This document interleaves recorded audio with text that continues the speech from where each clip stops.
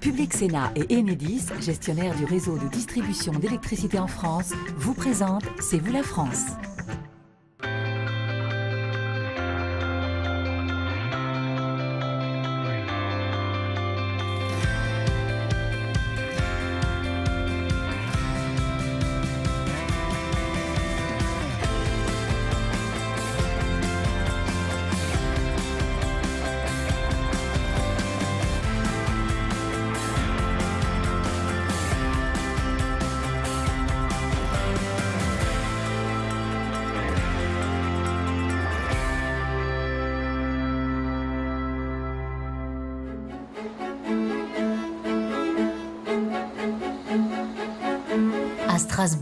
Début de l'été, sur les pelouses des places et sur les boulevards, les habitants profitent du calme retrouvé de cette saison de vacances.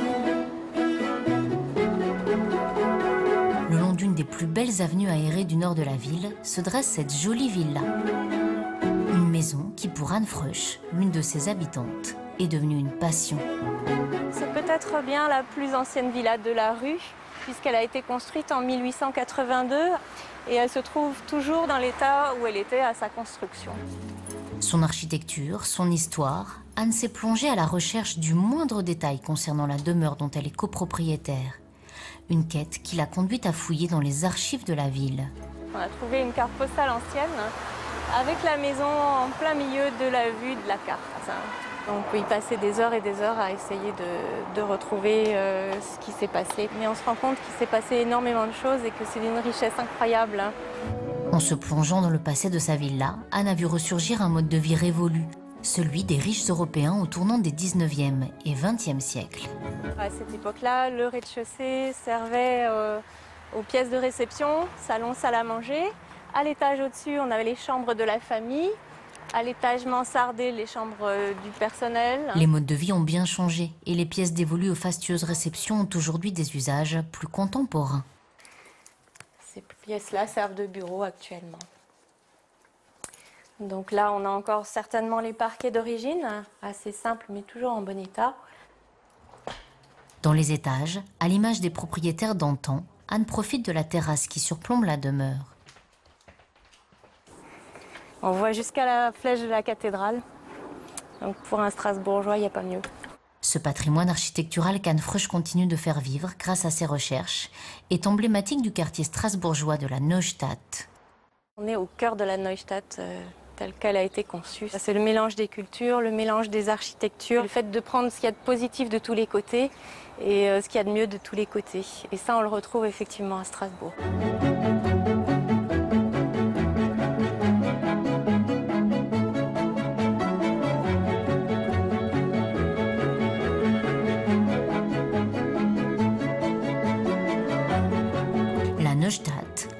Pour nommer un quartier de la capitale alsacienne. Neustadt, nouvelle ville. Le quartier d'une ville qui témoigne le long de ses artères, sur la façade de chacun de ses immeubles, de l'histoire tempétueuse d'une région que les Allemands et les Français se sont disputés pendant près d'un siècle. En 80 ans, Strasbourg a changé quatre fois de nation. Un passé douloureux, souvent sanglant, qui fait de ce quartier un patrimoine partagé par deux peuples européens. Un quartier symbole de cette histoire antagoniste et pourtant commune, qui n'est plus seulement le bien commun de la France et de l'Allemagne. Le 9 juillet 2017, l'UNESCO a élevé la Neustadt au rang de patrimoine mondial de l'humanité.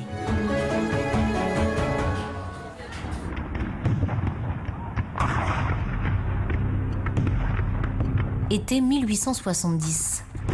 Après trois semaines de siège et de bombardements, Strasbourg se rend aux troupes prussiennes. Tandis que le Second Empire français s'effondre, Guillaume Ier de Prusse s'empare de l'Alsace qui passe sous son contrôle direct. À l'époque, Strasbourg se limite principalement à la Grande Île, où se dresse la cathédrale et la vieille ville médiévale. À 2 km au nord, une ancienne orangerie s'étale entre quelques arbres. C'est entre ces deux sites que les architectes de l'empereur vont dessiner une cité moderne, aux larges avenues, bordées de bâtiments issus des dernières technologies de l'urbanisme. Un modèle dévoilé à la face de l'Europe de ce que l'Empire peut offrir aux populations nouvellement conquises. Une nouvelle ville, une Neustadt. L'orangerie, elle, devient un parc où les Strasbourgeois peuvent flâner. Anne Freuch s'y promène d'ailleurs toujours.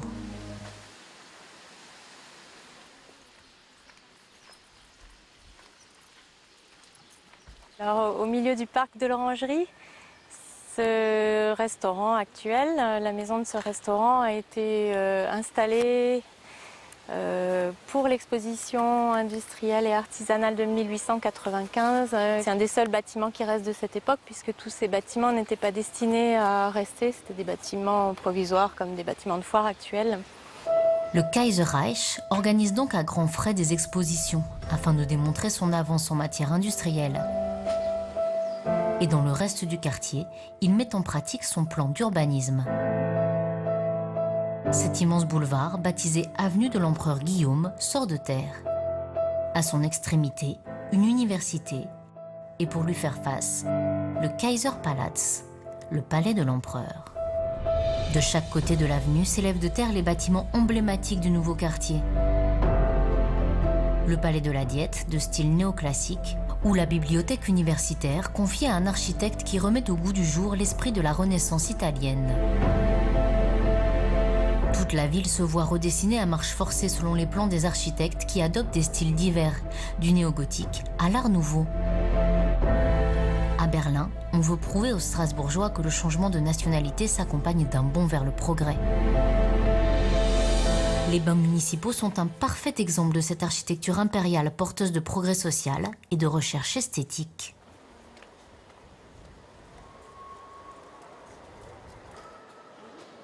Olivier Egel est historien.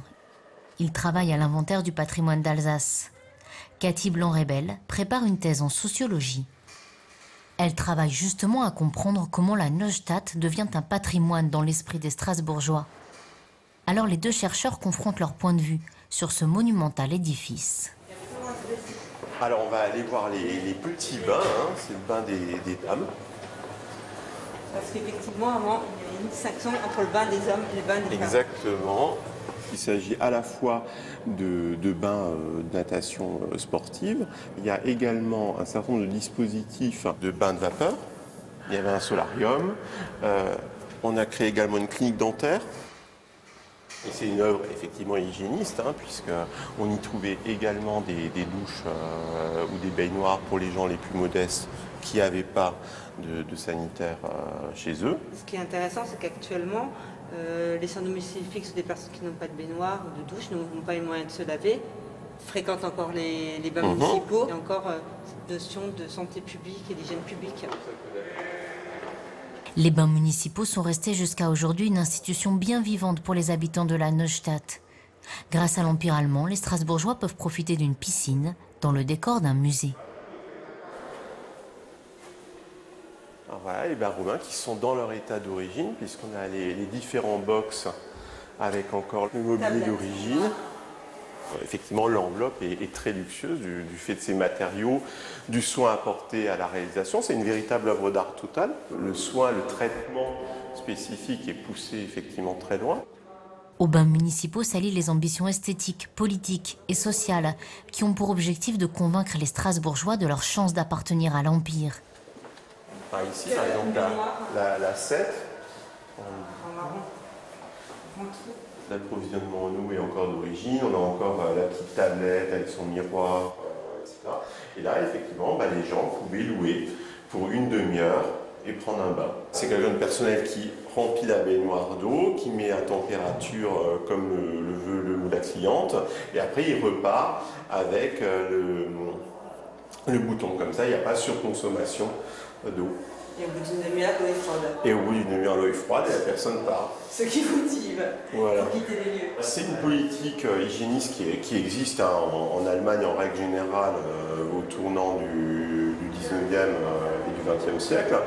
la ville de Strasbourg s'était lancée dans les années 1900 dans une vaste politique sociale, euh, notamment. Donc là aussi, le, rôle de Strasbourg est de plus en plus euh, important et dépasse même l'échelle communale, voire euh, une échelle départementale. C'est une capitale. C'est une capitale. L'Allemagne fait de Strasbourg la capitale de son Reichsland d'Alsace-Lorraine. Mais là encore, les soubresauts de l'histoire en décident autrement.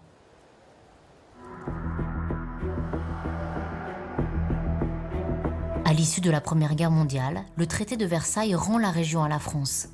Strasbourg rejoint le giron de la République.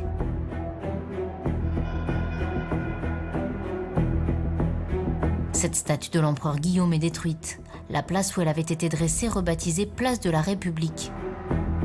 Et l'avenue qui portait le nom du Kaiser devient l'avenue de la Liberté.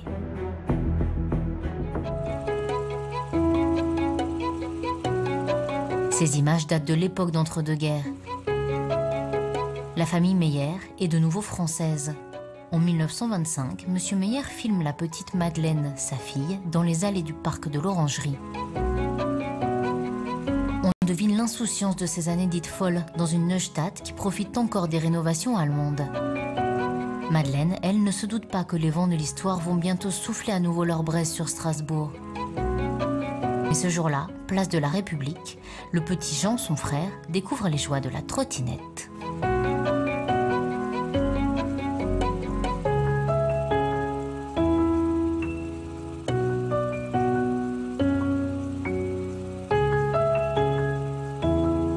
La paix sera de courte durée.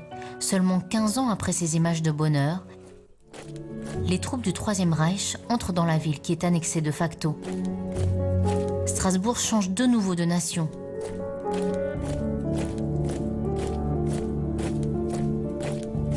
Le petit Jean Meyer, qui jouait à la trottinette, est à peine majeur lorsqu'il passe en Espagne pour rejoindre la France libre. Pour les populations restées à Strasbourg, l'occupation est une période très sombre. L'Alsace subit une germanisation à marche forcée. La langue française est interdite dans la ville.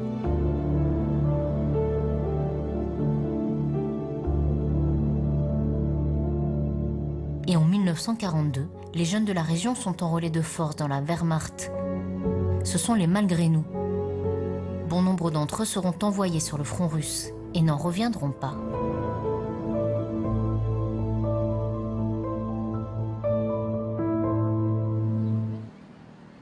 Derrière les hauts murs de cette belle demeure de la Neustadt, vit Jean-Claude Ambach, un avocat qui fut bâtonnier de Strasbourg. Sous l'occupation, ces zones cossues du quartier furent particulièrement prisées par l'occupant. Les Allemands voulaient refaire de l'Alsace une, zone, une province allemande. Et, là, donc, c'est pour ça que des Allemands d'autres territoires allemands sont venus, qui, considéraient que c'était l'Allemagne ici. Eh bien, ils sont venus ici s'installer. Pendant la Seconde Guerre mondiale, ce quartier euh, a été occupé. Ce sont les, personnes importantes de l'occupation nazie, n'est-ce pas, sont venues occuper ces belles maisons. C'est certain c'était quand même beaucoup de maisons qui appartenaient ou qui étaient, qui auparavant étaient occupées par des familles israélites. Voilà. Le 23 novembre 1944, Strasbourg est libéré de l'occupant nazi. Mais les blessures sont profondes. Pour les Strasbourgeois, le quartier ne peut pas garder son nom allemand. On ne parlait pas de la Neustadt, on n'utilisait pas ce mot-là. Dans l'ensemble, c'était un quartier qui est agréable et donc qui était bien perçu, sauf que ce quartier avait été occupé par des gens qu'on n'aimait, qu'on n'aimait pas beaucoup euh, pendant la guerre, c'est sûr. Et euh, donc euh, les Strasbourgeois étaient ravis que ces gens étaient repartis et ils étaient ravis ensuite au fur et à mesure que les anciens occupants, les anciens propriétaires étaient revenus à Strasbourg, c'est ça. À la Libération, la Neustadt change une dernière fois de nationalité et perd son appellation à consonance germanique. Le quartier tombe en désuétude. Les Strasbourgeois méprisent un peu ces constructions pompeuses et cette architecture maniérée. Pourtant, le quartier est devenu un trésor du patrimoine. De l'autre côté du Rhin, la quasi-totalité des bâtiments témoins de l'architecture d'Empire ont été détruits par les bombardements alliés. Il faudra attendre le début du XXIe siècle pour qu'enfin, des mémoires apaisées ressurgissent l'ancienne appellation du quartier. Le terme Neustadt a été euh, remis à l'honneur par euh, les chercheurs certainement ou par la municipalité qui ont souhaité euh, revaloriser ce quartier et qui se sont rendus compte de la valeur exceptionnelle qu'il avait de par son unité. Du point de vue des habitants, on a découvert ce terme Neustadt à cette époque. Bon, maintenant tout le monde se l'est approprié parce que c'est le terme qu'on trouve sur les plaquettes, sur les documents officiels, hein. mais on parlait plutôt de quartier impérial. Pour Cathy Blanc-Rébel, la sociologue de la Neustadt, la transmission de ce patrimoine s'est presque faite à l'insu des habitants du quartier. Il y avait même après-guerre, et ce qui est compréhensible après la Seconde Guerre mondiale, une espèce de chape de plomb. On ne pouvait pas vanter les mérites de la Neustadt construite par les Allemands. On peut constater que le quartier a pu être considéré comme méconnu ou mal aimé, alors que dans les pratiques, les immeubles ont toujours été habités par les familles et il y a eu la transmission de ce bien jusqu'à ce jour sans grande difficulté, jusqu'à actuellement une valorisation qui s'inscrit même à l'échelle internationale. Un patrimoine reconnu à l'international, la Neustadt, après un siècle d'histoire douloureuse, a fini par rejoindre le cercle fermé des lieux élus au patrimoine de l'UNESCO. Le récit de l'histoire de ce quartier de Strasbourg permet aussi de mesurer le chemin parcouru par les deux nations rivales, la France et l'Allemagne, pour construire avec d'autres les institutions qui garantissent la paix en Europe. Strasbourg, meurtri par les conflits séculaires, est aujourd'hui capitale européenne. Adossé au parc de l'Orangerie se tient le siège du Conseil de l'Europe. Et face à lui, le Parlement accueille les représentants de 28 pays du continent. C'est une nouvelle génération qui vit désormais dans les bâtiments grandioses de la Neustadt. Une génération pour qui les blessures du passé n'empêchent pas de projeter l'avenir. Cet immense palais avait été conçu par les architectes de l'Empire pour abriter un parlement d'Alsace-Lorraine. Les Français l'ont transformé en salle de spectacle. La terrasse du Théâtre national de Strasbourg est devenue le lieu de rencontre de la jeunesse étudiante. C'est là qu'aujourd'hui Margot Lucas et Matteo Barisione se sont donné rendez-vous. Qu'est-ce que tu veux chercher Alors Peut-être l'Europe, mais euh, oh, je sais pas trop, oui, l'Europe. Mais après, j'ai découvert autre chose. J'ai découvert le fait qu'il y ait beaucoup d'étudiants internationaux, à la fois en Erasmus ou en d'autres formats de mobilité euh, en général. C'est très agréable, ça permet d'avoir euh, un vrai, une vraie ville ouverte. La Neustadt est aussi devenue le quartier étudiant de la capitale alsacienne. Un quartier dont Matteo est tombé amoureux. Je me suis intéressé à l'histoire de la ville de, Strasbourg en arrivant. Et, une partie qui m'intéressait le plus, c'était cette Neustadt, justement. C'était ces bâtiments qui sont si différents de ce qu'il y a en France, euh, qui ont tous euh, une histoire euh, intéressante parce qu'ils ont changé de nom 3, 4, 5 fois en, moins d'un siècle. En, en, 150 ans, ils ont changé d'usage. Et c'est un quartier qui est plein de surprises et qui, à mon avis, a un côté quasiment magique. Si la Neustadt est devenue le quartier de prédilection des étudiants de Strasbourg, c'est bien sûr parce que le palais universitaire édifié au temps de l'Empire allemand est resté le cœur des facultés de la ville. Les étudiants viennent suivre leurs cours dans l'immense bâtiment construit pour montrer aux Alsaciens la supériorité culturelle du Kaiserreich. Aujourd'hui, même si l'année universitaire a pris fin depuis déjà quelques semaines, Margot vient profiter des lieux. Et elle y trouve d'autres charmes que l'expression de la puissance germanique. C'est un lieu d'étude, mais c'est aussi un lieu de rencontre, de gala, de cérémonie. Euh, voilà. En tout cas, c'est un endroit très agréable pour étudier ou même se balader, euh, contempler, flâner, fuir les révisions, se distraire. Et bon, alors il y a des salles de cours. Ici, il y a les facultés de théologie, il y a la fac d'histoire, euh, la fac d'art visuel ou d'art du spectacle, mais je ne suis pas sûre, là je m'avance. Bon, en tout cas, c'est pas toute l'université qui est dans ces locaux, mais je pense que malgré tout, il y a énormément d'étudiants des autres facultés qui investissent l'endroit, parce que c'est un peu le symbole de l'université de Strasbourg, quoi. Margot étudie les sciences politiques. Alors même pendant les vacances universitaires, elle vient dans cette bibliothèque d'histoire consulter des ouvrages pour ses recherches. Pour la jeune femme, les Alsaciens portent désormais le passé douloureux de la ville comme un étendard de leur identité. L'Alsace est remplie de toutes ces histoires de malgré nous, de gens qui, qui ont été tiraillés entre deux identités, de familles, comment se positionner. Mais en tout cas, pour ce que j'en ressens modestement aujourd'hui, je trouve qu'on a réussi à réconcilier euh, son passé autour de ça. On arrive à se dire que justement euh, Strasbourg euh, meurtri pendant le XXe siècle est d'autant plus forte et fière aujourd'hui d'afficher ses valeurs européennes, de se revendiquer de ce passé-là, de montrer que, en dépit et malgré tout ce qui a pu se passer en Europe et à Strasbourg, eh bien aujourd'hui, ça a été le lieu de la première réunion du Conseil de l'Europe. Il y a le siège du Parlement européen à Strasbourg. C'est ça ne pouvait pas être ailleurs, je pense.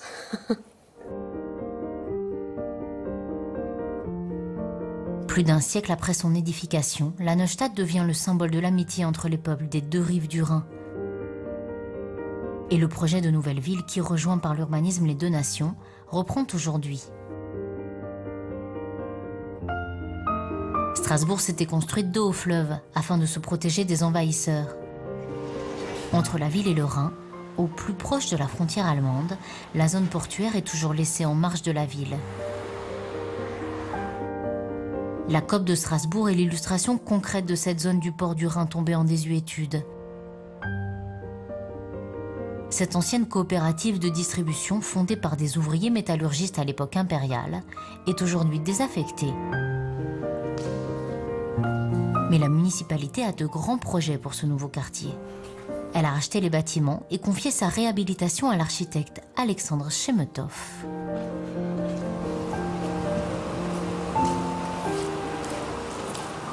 Vous voyez, si on se met là, là par exemple, à cet angle-là, donc on est un peu au cœur de la COP ici. Derrière moi, donc le, bâtiment dit de l'Union sociale, la cave à vin, la boulangerie, la petite maison des syndicats, la sérigraphie. La COP, elle est aussi en elle-même un paysage composite fait de bâtiments de différentes euh, périodes. Et c'est intéressant parce qu'on a là toute une histoire au fond de, de l'architecture. Et puis il y a aussi l'idée que la COP en elle-même est un projet d'aujourd'hui, parce que l'idée de coopérative, l'idée d'économie circulaire est une idée d'aujourd'hui. Dans ces bâtiments en ruine, Alexandre Chemetov prépare l'avenir de Strasbourg. Des logements participatifs viendront redonner vie à la COP, aux côtés de salles d'exposition, d'ateliers d'artistes, de commerce et d'une brasserie. Au-delà de la sauvegarde du patrimoine matériel, l'architecte veut en faire le centre d'un patrimoine immatériel. Les arts, la connaissance, mais aussi les modes de vie des Strasbourgeois. La COP s'inscrit d'ailleurs dans un vaste projet d'urbanisation, le quartier des Deux Rives qui étend Strasbourg vers le Rhin et vers l'Allemagne. Un chantier pharaonique. Un éco-quartier sort de terre. Plus de 18 000 logements sont prévus. Déjà, le jardin des Deux Rives, créé en 2004, s'étale sur les deux pays. Un jardin transfrontalier et symbolique, relié par une passerelle qui enjambe le fleuve. Fontanelle, le premier adjoint au maire de Strasbourg, prépare cette ville qui fusionne peu à peu avec son voisin allemand. Au fond, on est rénan et donc on est européen. Et quand on est européen, on a une responsabilité euh, de construction de projets européens.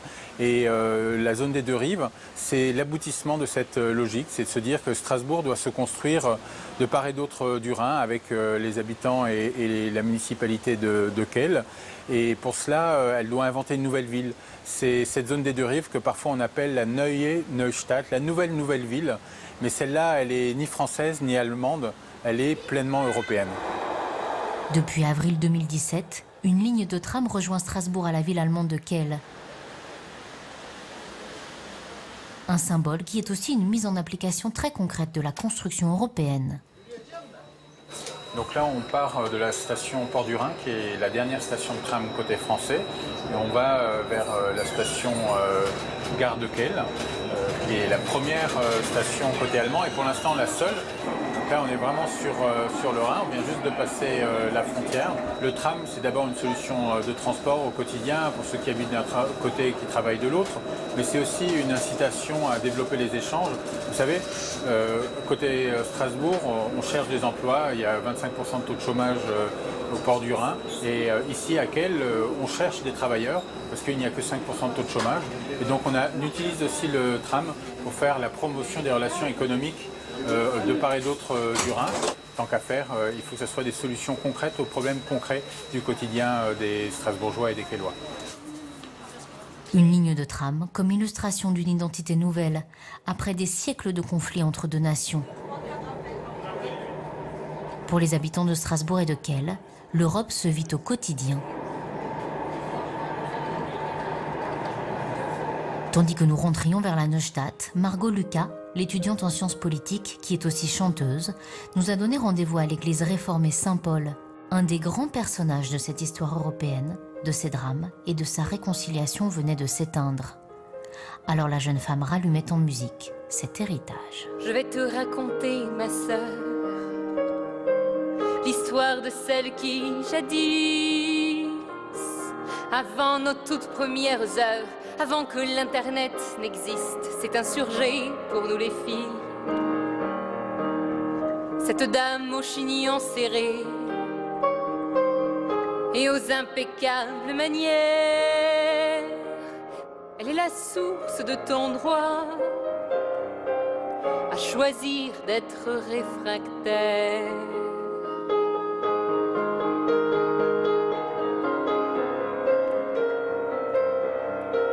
Si tu as un jour à choisir et décider pour deux avenirs,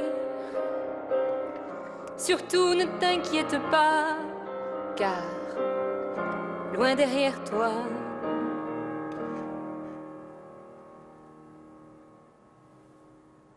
Simone Veil.